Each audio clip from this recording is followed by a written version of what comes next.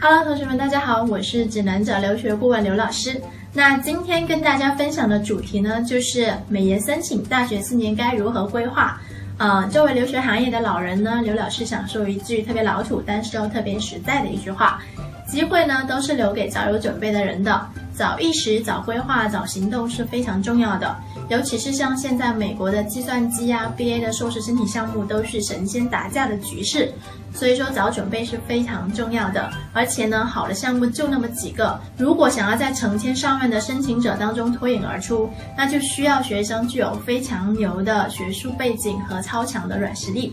但是这两者呢，都是需要长久的坚持和持续的积累的，是绝对不可以一蹴而就的。呃，其实美研申请呢，无外乎就是硬实力和软实力了。硬实力呢，就是我们常说的硬件三维，会包含 GPA、托福或者雅思、GRE 或者是 GMAT。那在申请的时候，比较理想的情况是 GPA 三点五以上，托福一百分以上，或者雅思七分以上，GRE 三百二十分以上，或者 GMAT 七百分以上。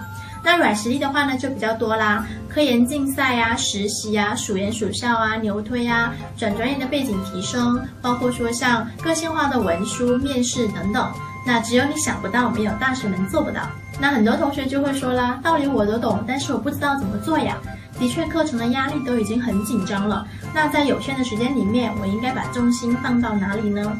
下面我们就针对不同的年级来说一下早准备规划的重点。那首先呢，就是大一的准备阶段。大一呢，主要分为三点。首先，第一个就是明确你的留学意向，包括你要去哪个国家留学，你要申请本专业还是跨专业。那第二个呢，就是要了解标量化的考试，包括说像托福、雅思、GRE 和 GMAT。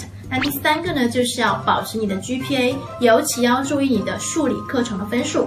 那简单来说呢，大一就是学习学习，好好学习，呃，整体的 GPA 保持越高越好。那以这两年最火的商业分析、人工智能为例，他们是非常看重一些基础的课程的，包括说像线性代数、统计与概率论、微积分等等。那这些课程呢，大部分都是大一修的课程。每次看到学生的成绩单里面，大一的这些核心课程有多个成绩是七十分，甚至是六十分，或者说是没考好，后面又重修的，现在的成绩单上还是会显示出来的。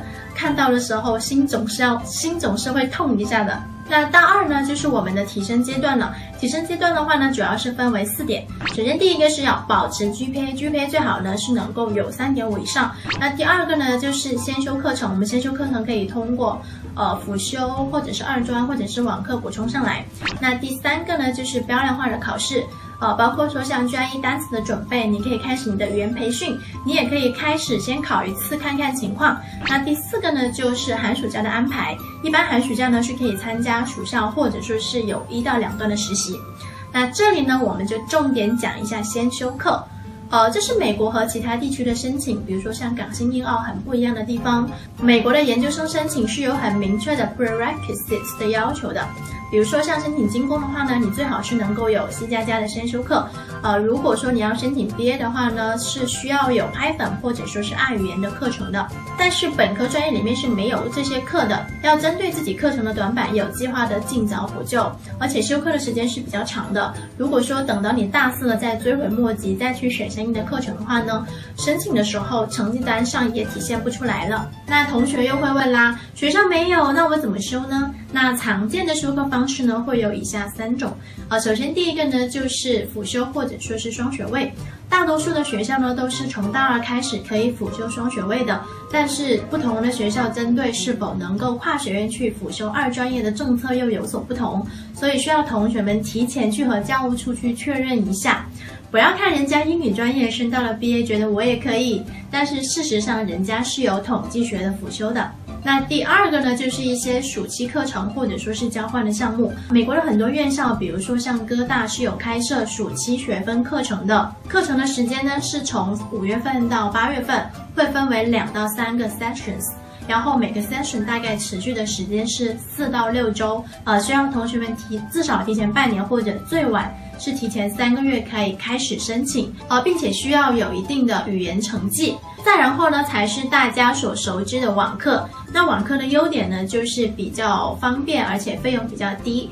那缺点的话呢，也是呃认可度这方面呢因校而异。呃，比如圣路易斯华盛顿大学对于网课的要求就是要有学分，那这个真的臣妾做不到啊。但是对于一些技能类的要求呢，网课是 OK 的。呃，美国院校开设的自己的先修课程，比如说像巴鲁克金融工程开设的 C Plus Programming Online Certificate 项目，呃，加州大学伯克利分校金融工程 MFE 项目开设的 Pre-Program Courses，然后是包含了三个方面，分别是 Math Foundations for Financial Engineering、C Plus Programming and Statistics for Financial Engineers。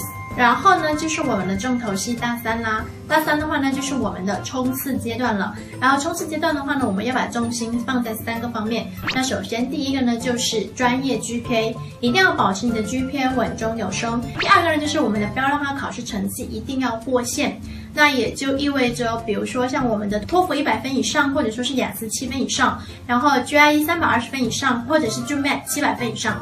那最后一个呢，就是全方位的背景提升了。那这里面呢，就会包含专业的实习，比如说公司 title，你要做实际的事情。然后呢，第二个呢，就是科研项目或者说是技能提升的经历，也还有像啊海外交流交换呐，国内外实验室的数研呐、牛推啊等等，都是需要我们在大三这个阶段去做好的。那这里呢，我们就详细讲两点。首先，第一个是一定要尽早的摆脱托福或者说是雅思、GRE 或者是 GMAT 的考试。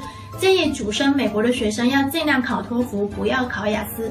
当然，如果说你是英美混声的话呢，那还是考雅思比较好。申请交叉学科的学生最好还是要考 GRE，比如说像精工、金数、BA 这些是呃通常开在工程学院或者说是文理学院下面的，只接受 GRE 不接受 GMAT 的。还有这里要提醒一下哈，呃，经济学的话呢也是要考 GRE 的，因为经济学在美国并不算是 business major，经济学一般是开在文理学院下面的，并不是。商学院，那再引申一点哈，比如像弗吉尼亚的 Commerce 专业是允许非商科背景的学生去申请的，那这个时候呢，国内的经济学本科就可以去申请了。那我们再回到正题哈，语言成绩的有效期是两年，GRE 跟 GMAT 有效期是五年，所以建议大家一定要早点考。百分之八十以上的学生都乐观的估计了自己的英语水平。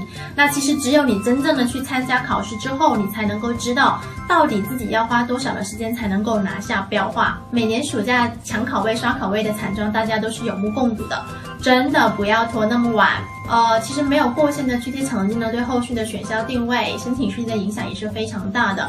希望大家早规划，就是希望大家能够早早的把标量化考试的包袱丢掉，才有时间去进行背景提升。不然真的就是只能是一步晚，步步晚，最后只剩下空叹息了。那除了标化呢，大三最重要的就是背景提升了。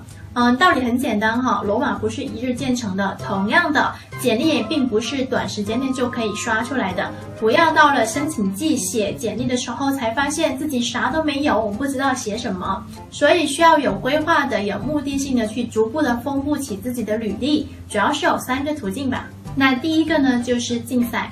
当然，并不是所有的竞赛都对身体有帮助的，什么辩论赛呀、英语演讲比赛呀，都不要拿出来说，这些都不算的。那这里我们说的主要是申请专业相关的比赛，比如是以商业分析为例，一些数据分析、数据挖掘类的比赛，比如说像 Kaggle、天池、Data Castle 这一类平台的竞赛。第二类呢，就是数学建模大赛，国赛和美赛大家应该都知道了的。那还有一种呢，就是呃含金量比较高的商赛。比如说像贝恩杯咨询案例大赛，那第二点呢就是实习，实习这个部分大家千万要重视起来。Master 本身就是非常就业导向型的项目，所以对于学生的实习是非常看重的，尤其是商科。那这里需要注意的是呢，实习一定要趁早，而且实习的时间是不宜过短的，最好是三到四周起，而且实习呢要兼顾数量、行业的广度和专业的深度。那举个例子哈。有心的学生呢，是从大一的时候就已经开始实习了，到大四申请的时候呢，已经集齐银行的柜台或者说是大堂经理，然后再到四大会计事务所，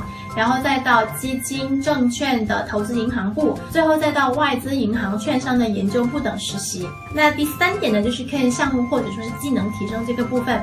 从学校的层面来讲呢，大学生创新训练计划项目、呃，本科生科研创新项目、本科生研讨会等等，这些也都是增加科研项目的途径的。还有呢，要跟教授搞好关系，因为教授的手里面也是有项目的，或者说是问问教授们现在需不需要助研，这也是一个接触项目的机会。只要你想，机会总是有的。还有一个比较有美国特色申请需要注意的点是，呃，海外交流、海外交流交换，或者说是属研属校。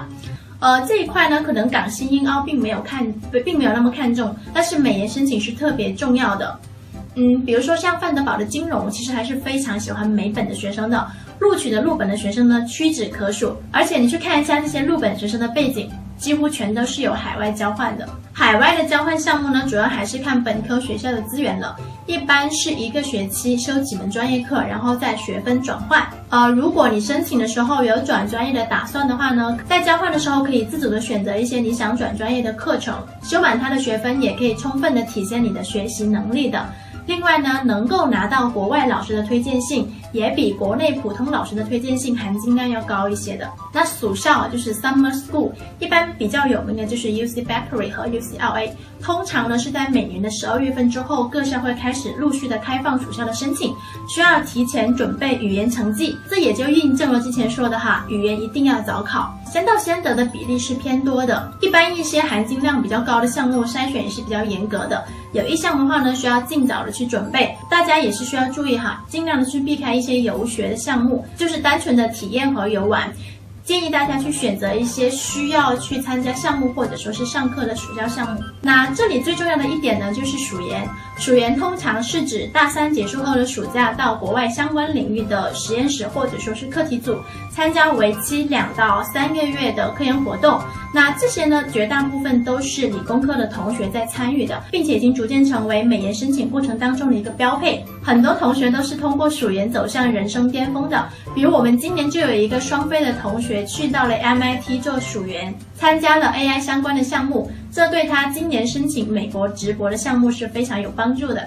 再比如 UCLA 的 CSST 项目，呃，UCLA 设立项目之初的目的呢，就是跟大陆优秀的985学生进行交流，为 UCLA 选拔高质量的 PhD 的学生。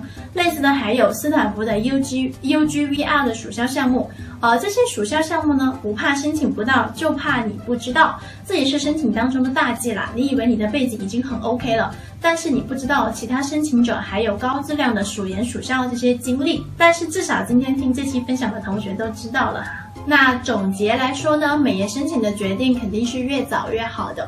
你早点决定呢，你可以提升跟准备的空间就越多。虽然每年都有很多所谓的保研失败的转身了美国，而且能够申请成功的，但是人家能够保研，说明人家也都是大牛哈。人家的 GT 是可以一次性考出来的，不需要刷分，呃，而且人家已经有很不错的科研经历呢。那我们这样的凡人呢，最好还是一步一个脚印，早规划早准备更好一些。那今天听到这里的同学，恭喜你，你离名校的好 offer 就只差早行动这一步啦！不要当听过就是做过喽。但以上只是大致的规划的模块和方向，那具体的时间规划和实施的方案呢，还是要根据每个人自己的实际情况定制自己的个性化方案的。以后是呢，也可以跟刘老师联系，做具体的规划申请方案。好啦，今天的分享就到这里啦，关注指南者，下期更精彩，我们下期再见。